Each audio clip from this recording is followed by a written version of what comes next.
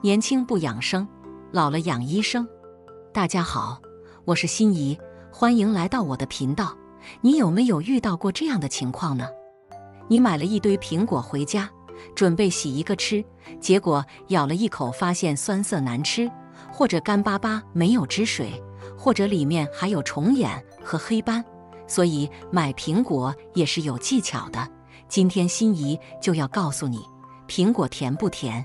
一挑一个准，老果农的方法管用。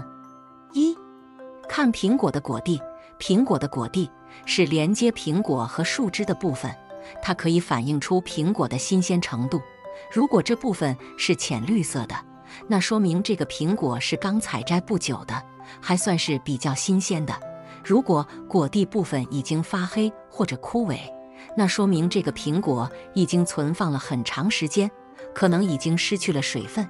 二，按压苹果，想要买到又甜又多汁的苹果，大家要牢记这一条：购买时用手指按压苹果，如果能很轻松的就按下去，那代表这个苹果是比较甜的；反之，如果按不下去或者按着很吃力，这个苹果还不熟，必定是酸的。注意不要恶意按压或者用指甲划伤苹果哦。三，闻苹果的香气。苹果有一种天然的清新的果香味，如果闻得到，那说明这个苹果品质不错；如果闻不到，或者闻到化学剂或者农药的味道，那说明这个苹果可能经过了染色或者打蜡等处理。所以在买苹果时要用鼻子闻一闻哦。四，看苹果的条纹，苹果并不是越红越好越甜的，也并非越大越甜。颜色太红的苹果吃起来口感比较软，没有清脆的感觉。在买苹果时要看一看苹果的条纹，越多越好，看起来像裂开的那种条纹，这样的苹果一般都是糖分高、水分多、口感好的。五，看苹果的果窝，最后就是看一下苹果的果窝，就是苹果的底部有一个小凹陷的地方，这个位置越深的。味道也就越甜，反之越浅的味道也就越差。还可以用手轻轻弹一下苹果，如果有清脆的回声，那说明这个苹果很脆很甜哦。以上就是购买苹果的方法，你觉得怎么样？只要按照上面的方法去挑选，就能买到又甜又多汁的苹果。大家都知道，水果的维生素含量丰富，营养价值高。近些年，国外进口的车厘子、牛油果等昂贵的水果非常火爆，而苹果作为我国广泛种植的水果种类，虽然价格要比那些进口水果要便宜很多，但却并不受人欢迎。高中生小乔便是如此。虽然逢年过节家里总是有很多苹果，但他从来不爱吃，妈妈总是拿一天一个苹果。医生远离我的话来劝他吃，小乔却认为现在的苹果上都打了蜡，一点都不营养。打了蜡的苹果还有营养吗？苹果上的蜡能吃吗？在二零一六年，美国自然公共研究组进行了一项针对多种癌症风险人群的统计，其中经常吃苹果的人比基本不吃苹果的人最高癌症风险低百分之十一左右。二零二零年世界卫生组织对二十多万名女性的调查对比中发现，苹果对癌症有预防作用，所以多吃苹果对身体是有很多好处的。那打蜡的苹果能不能吃呢？人类是从什么时候开始给水果打蜡的？那可得追溯到很久很久以前了。一九二二年，布罗格德克斯公司的创始人厄内斯特。布罗格登最先在美国申请了商用水果打蜡的专利，自此，商业水果打蜡的原则沿用至今。打蜡是一种重要的水果保鲜技术，并不是近些年才出现的。直到今天，国内外仍在使用打蜡技术给水果打蜡，不但可以让水果表面具有光泽，还可以堵住水果表面的气孔，降低水分流失和养分的消耗。让水果保持新鲜。此外，打蜡还能有效控制微生物的侵害，减少腐烂，从而延长水果的贮藏期。打蜡的水果还能吃吗？一般水果表面的蜡主要有两种，一种是水果表面本身就会带有的一层果蜡，比如苹果、梨和葡萄等，这种蜡是水果的天然保护层，安全无毒，可以放心食用。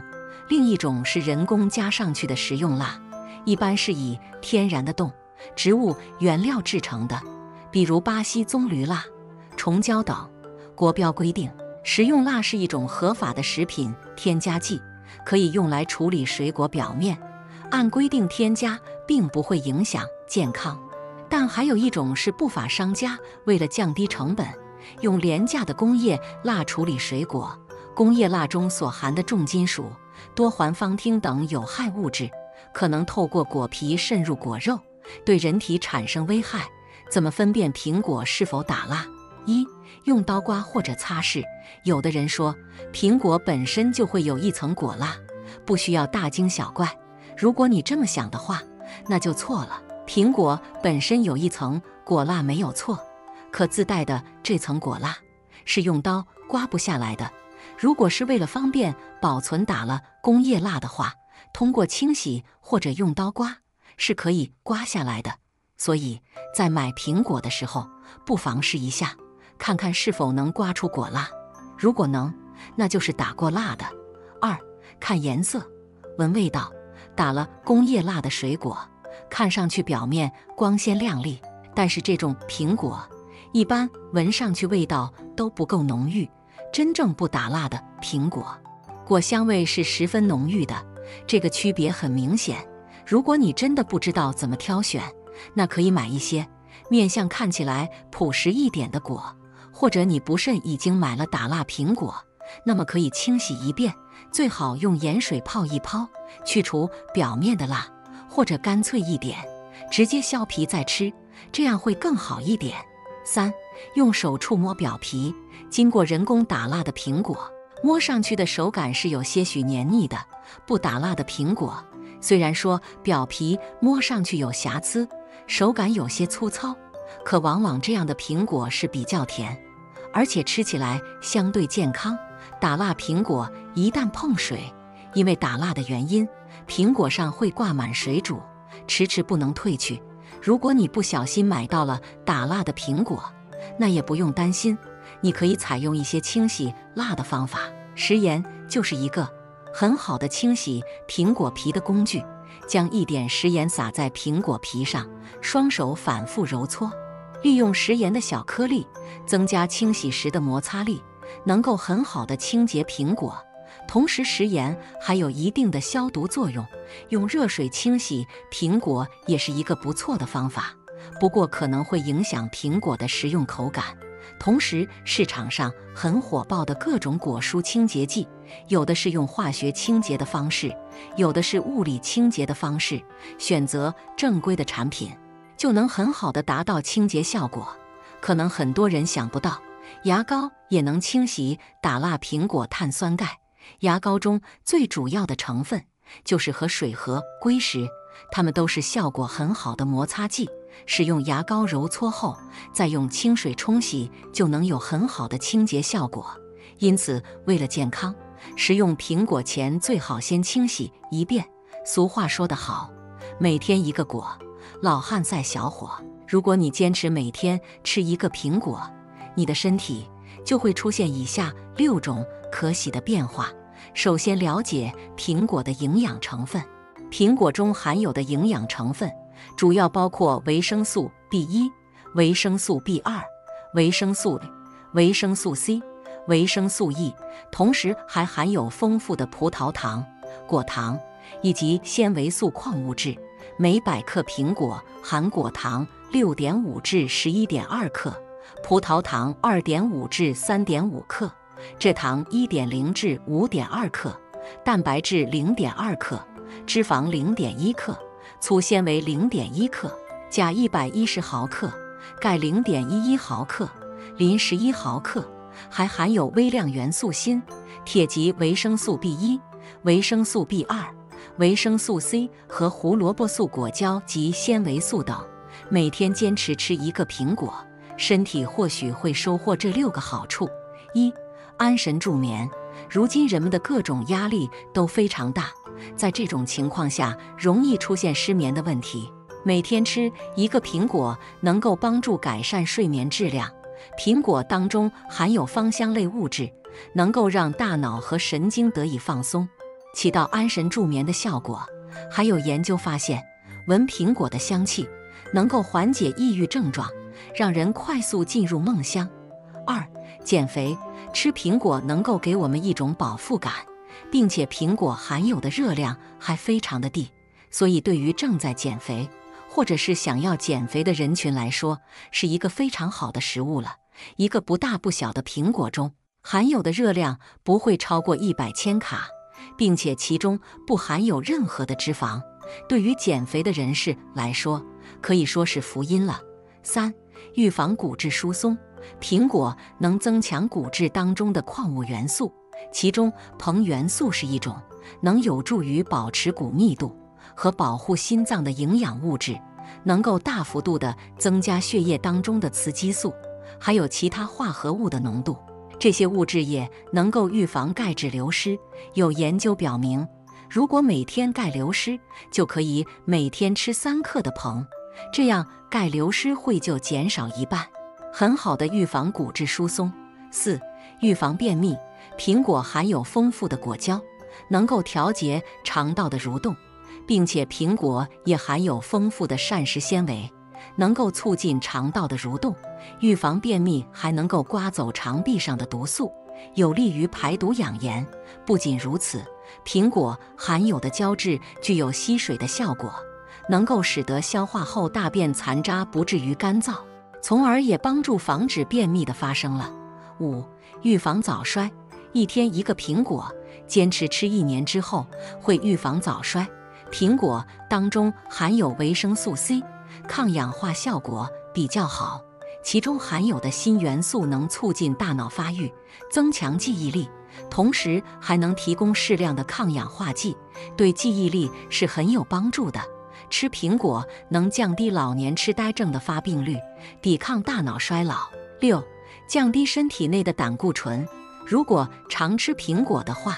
身体内的胆固醇含量就会降低，并且可以在一定程度上促进胆汁的分泌，防止人体内出现胆结石。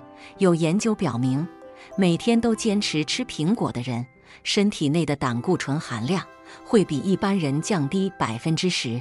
可见，苹果对于人类有着重要的作用。吃苹果时，尽量在这两个时间段吃：一。早上吃，早上是吃苹果的最佳时间。大家可以早上起床之后，空腹吃一个苹果，因为经过一晚上的新陈代谢，身体内的水分几乎被消耗完，糖分也被完全消化。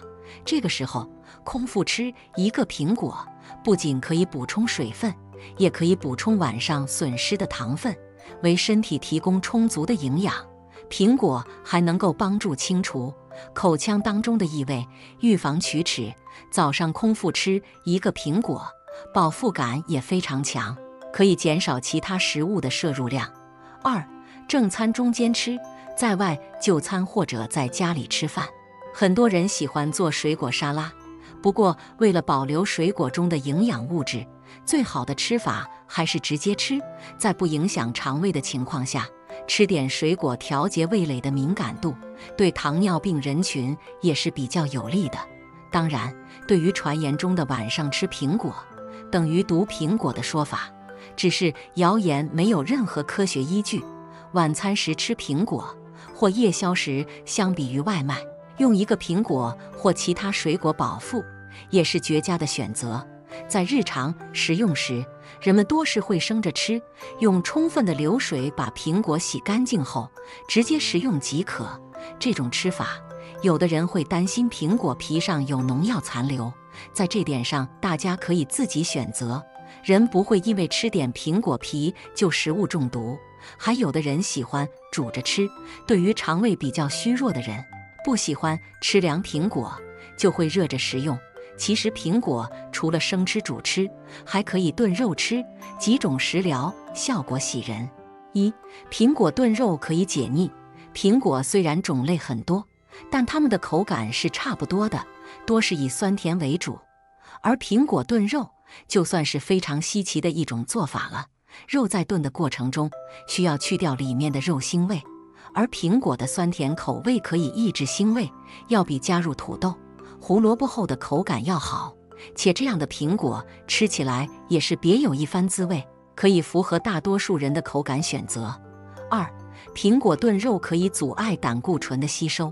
很多人都知道，苹果里面有维生素 C 的成分，它的抗氧化能力很强。但里面还有更强的抗氧化物质，这种物质是多酚类成分。从某种程度上来看，这种物质可以在一定程度上阻碍胆固醇的吸收，在中老年人预防心脑血管疾病上也具有积极的作用。根据苹果的这点好处，把它用来炖肉，有了苹果的参与，整体上的营养会提高，同时还可以减低吃肉的热量。加上苹果酸甜的口味，还具有促消化的特点。另外，从这种烹饪做法上来看，虽然炖苹果里面的维生素 C 含量会流失一部分，但其中的多酚类物质反而会因为浓缩增加了多酚的含量。三。苹果炖肉可促进人的食欲。人在特殊时期，如女性来月经期间、绝经期间、怀孕的时候等等，都可能出现没有食用食欲的情况。如果把普通的肉端到他们的面前，可能会觉得腻人不想吃。但肉却是补铁补血的最佳食物，适量吃点可以缓解人们的不适。那怎么办呢？这个时候，我们就可以采取用苹果炖肉的做法。苹果的味道比较浓郁，吃起来沁人心脾，可帮助女性促进食欲。适量吃为宜。吃苹果时不能吃这三种食物：一、胡萝卜。苹果中含有丰富的维生素 C，而胡萝卜中则含有维生素 C 酵酶物质。如果将其一起食用，会破坏苹果中维生素 C 的含量。这样就大大降低了苹果的营养价值，且还不利于人体吸收。二、牛奶，苹果的果酸与牛奶中的里含的蛋白质反应，会生成钙沉淀，引起结石。晚上不能吃苹果，很多人晚上饿了习惯吃苹果，早上的苹果是金，晚上的则是垃圾，对身体没有益处的。刚刚吃晚饭不能吃苹果。吃晚饭一个小时后吃苹果可以促进消化，可是刚刚吃完饭就吃苹果不利于消化。三、海鲜，因为苹果中的维生素 C 容易和海鲜发生反应，而且两者一起吃就很容易产生砒霜，轻的可能会发生恶心、呕吐现象，严重的就可能会造成生命危险。今天的分享结束了，愿各位听众朋友。都能身体健康，拥有幸福晚年。明天同一时间，我们再见。